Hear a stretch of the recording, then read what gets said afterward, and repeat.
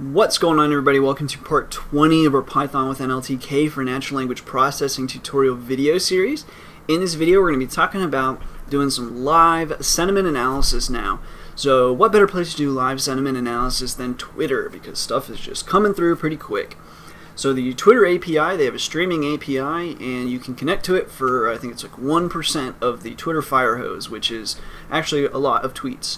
Uh, it's like probably like 500 million a day on average now. So maybe even more. But anyway, uh, so we're going to talk about how to connect to that. Luckily, I have a tutorial on that as well. Uh, we're just going to copy and paste the source code from that, but I do have a tutorial on it. Uh, and so we'll get that, we'll get connected, we'll show how to connect our module to that, and we'll actually show a decent example of streaming some information. So, uh, and judging sentiment on it. So let's go ahead and get started. So first of all, uh, you'll want to come to pythonprogramming.net, click on Start Learning, and we're going to look, and it should be a data analysis possibly, MySQL, and then we get tweets. Uh, so there's that, and then we'll go to streaming tweets from Twitter. I'll try to put this link in the description. If I forget, I'll just, just let me know, and I'll paste this whole link in the description so y'all don't have to navigate around trying to find this specific tutorial. But anyway, coming down, let me get rid of these stupid ads. coming on down here, who put these ads on this site? Seriously. Coming on down, uh, what we're interested in is uh, this code right here. So come to the very bottom right before the end of the dashboard, and we're going to take all of this here, and let's just copy that, come over to uh, a blank file, and paste. So this is the source code required, although we're not going to be saving to a, a, a MySQL database we don't need this either. And we don't need the username. We don't need con.commit. And we don't need username tweet either. We can just print the tweet for now. Uh, return true, that's fine.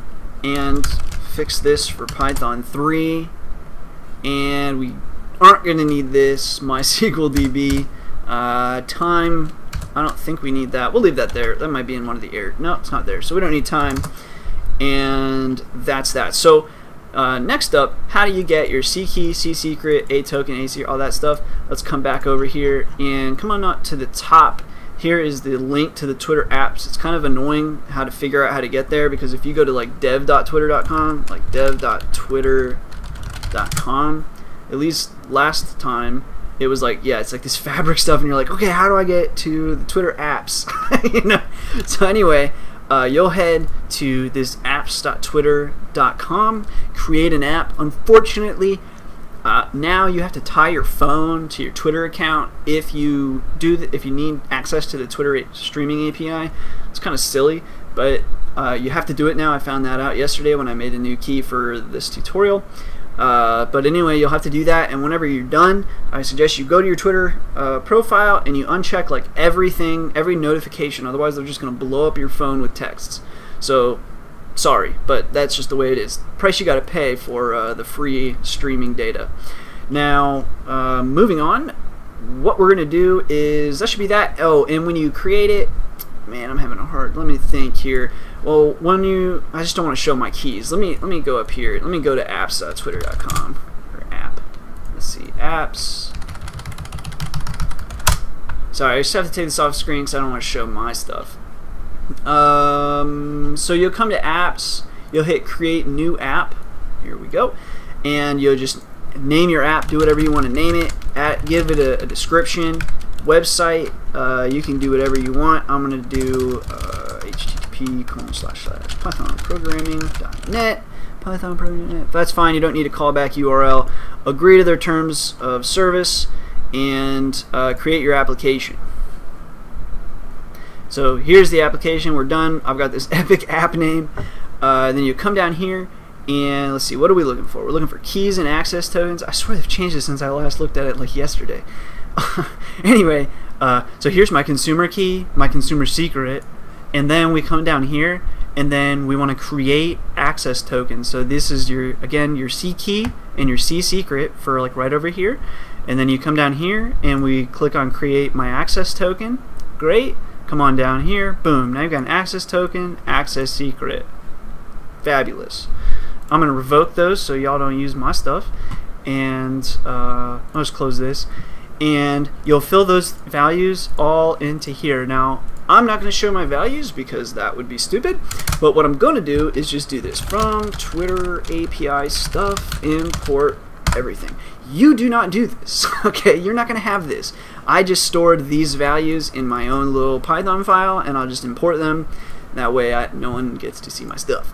So, once you've done that, now uh, you're ready to stream data. So, up to this point, uh, this should connect. So first, let's let's go ahead and stream it. Let's we'll leave car. That's fine. Uh, and that looks good. So let's go ahead and run this. Let's see what happens. There we go. So we. okay, so meet Craig. Blah blah. We started to get some tweets, and then we got disconnected.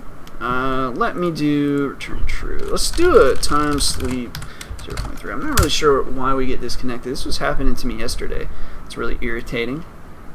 It might be because these special characters, maybe? I don't know. I'm not. This is like the most annoying error to see because it's like no active exception to raise, but we disconnected.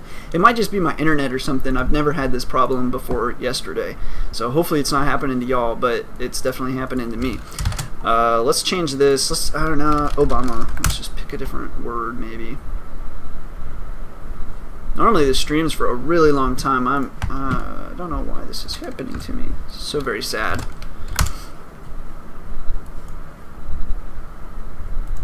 Hmm. Uh, well, the show must go on. Uh, so if this is happening to y'all, let me know. And also, if you know how to fix for this, that would be great. Streaming.py, I just updated this package, so I know it can't be anything like that needs to be updated. But anyway, we'll come over here. I'm guessing it's my internet cutting out, but I'm not positive. The streaming API takes up a ton of RAM and um, yeah, mostly RAM, but also processing. This streaming API is so heavy. If you have to like uh, use like a VPS or something, you have to pay a lot of money because it's just like this takes up so much. Anyway, let's go ahead and do import uh, sentiment mod as S. We'll bring that in. And then we're going to come on down to here. And remember that sentiment function now returns two things. It returns the uh, sentiment as positive or negative, and it returns um, the confidence. So we'll come on down here. We'll get rid of sleep. Well, I guess we can keep printing this tweet. I really wish I knew what this error was. There's like nothing, I don't know what to do about no active exception to re-raise. What does that even mean? come on. Um, let's see if we can see where it failed even. Let's see. Fail. Okay, so it's failing at this point. Um, part of me just wants to like encase everything in like one big ass try and accept or something. Like just pass these exceptions. Uh, anyway, moving on. So at this point, we get the tweet. So what do we need to do? Well, we just can do this. We can say basically sentiment value, comma, uh, confidence, sentiment value confidence equals s dot sentiment, and we want to gather the sentiment on the tweet. Easy enough. So now we should have pos neg or or positive or negative, and then also a confidence level. We have five algorithms that we're using here, so that would be either 100% confidence, 80% confidence, or 60% confidence. Anything lower than that, and the vote would have been the other way. So those are your only choices. So now what we can do is let's go ahead and we'll actually let's keep print tweet. So we'll print this tweet. Uh, we'll print the tweet. We'll print sentiment value, and then we'll print confidence in that value. And then let's say if confidence is if, if confidence times 100 rather confidence times 100 is greater than or equal to 80 let's just use that for now um, great we're gonna say that's a good tweet and now let's output the the value so uh, we'll save an output file. So we'll say output equals open. We're going to open Twitter out.txt. We're going to open it with the intention to append, and then we're going to say output.write. We want to write sentiment value. We're also going to do output uh, dot write new line. And then we will do output dot close. Okay, so here, well, if the value is if the if the confidence is greater than 80 or greater than or equal to 80, so basically if there was four or more votes in favor of the the, the sentiment value, uh, we're going to save that and say, okay, that's a confidence, good confidence, and uh, we'll save that to our Twitter output file. And then in the next video, we'll be talking about how we can connect to this Twitter output file with some matplotlib and graph this stuff live. Now, I'm still really bummed about this this connecting nonsense. Um, really shouldn't be happening. I wish I could. I wish I knew why. Um, now it's not even running. There we go. Got a full length. Oh, that was because we imported. Uh,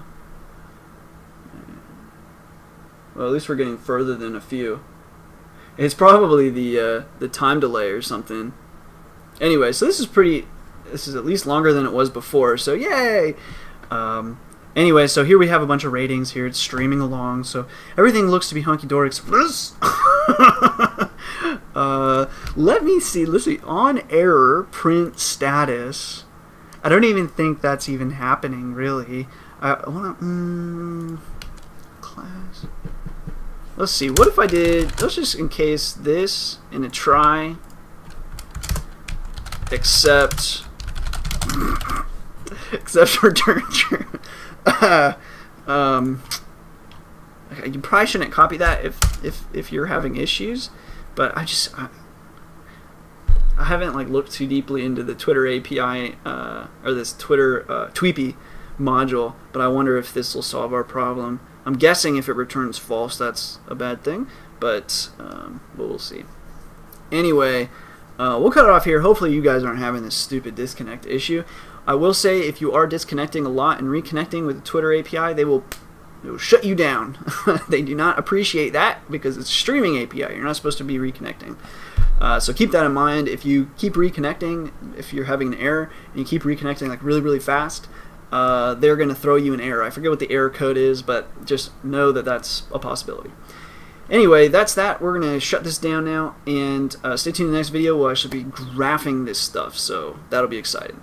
Uh, questions or comments below. If you happen to know how to solve that annoying error, let me know, although we're not seeing it yet. Last time I said that, it popped up immediately, so who knows.